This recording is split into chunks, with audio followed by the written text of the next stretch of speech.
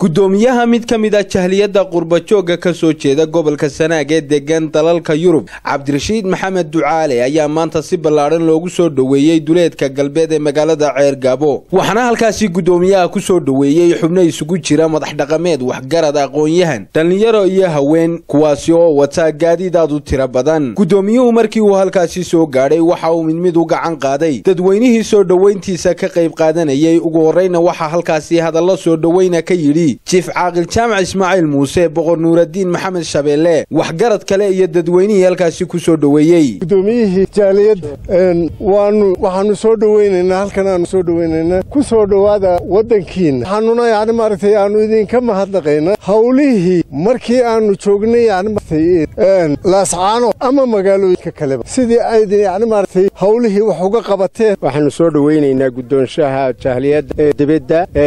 Guddoonsha soo dhoweynaynaa gacmo furan baanu kugu soo dhoweynaynaa warbixintayadana dee dhulkaanu kugu soo dhoweynayna waad aragtaa. Waa dhul abaareed iyo dhaam iyo hawle ka jira. Dib baa wararkaas ka bixi doonaa. Maanta waxaa ii farxada inaan soo dhoweeyo gudoomiye cabdirashiid maxamed ducaale maxamed oo ah nin aad iyo aad u qaaliya ka gobol ahaan iyo ka degma ahaanba ku qaaliya. Waxaan leeyahay gudoomiye soo dhowow soo dhowow oo dalkaaga ku soo dhowow. Waa idin salaamayaa dhammaan soo dhoweeyaasha gudoomiyaha guud ee qurbajoogta gudoomiye cabdirashiid maxamed ducaale aad baan u soo dhoweynayaa waan ku faraxsannahay. Maanta inuu nagu soo booqdo dalka khaasatan degmadaasi ceergaabo waxaanu halka ku soo dhoweynaynaa cabdirashiid maxamed ducaale oo maaragtay qurbajoogta gudoomiyaheedii ah. Waxaanu leenahay gudoomiye soo dhowow dalkiina waad aragtaa dalka sidaa kaga warhayseen dee abaar baa ka dhacday. Waad soo martay dalku siduu maaragtay u sinaaday weliba. Halka ugu soo baxnay oo soo dhoweynaynaa gudoomiye cabdirashiid maxamed ducaale oo ah gudoomiyaha qurbajoogta gobolka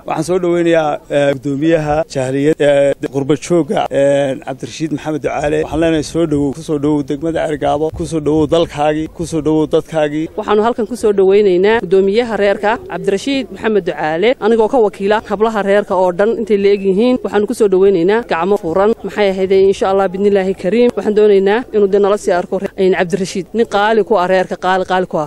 Halkan waxaa lagu soo dhoweynayaa gudoomiye cabdirashiid maxamed ducaale. Anigu qodii hargeysa ku soo dhoweysay baan ahaa waanu wada soconay. Halkan sida tolka ugu soo dhoweeyena waa si sharaf leh. Waanu uga mahadnaqaynaa. Waa nin qiimo badan. Tolkii jecel yahay. Soo dhoweynta aa soo dhoweyseen gudoomiye cabdirashiid. Aad baa ugu mahadsan tihiin gudoomiyaha cabdirashiid maxamed ducaale ayaa ugu horreynba halkaasi uga mahad celiyey madax dhaqameedkii iyo dadweynihii kale ee soo dhoweeyey. Dhammaantiin waan idinka mahad celinayaa runtii sidaa qiimaha badan ee aad dhallinyaro iyo waayeelba halkaa igu soo dhoweyseen ama degmada ceergaabo waxay runtii muujinaysaa ama igu abuurtay farxad iyo maaragtay qiimayn gaar ah.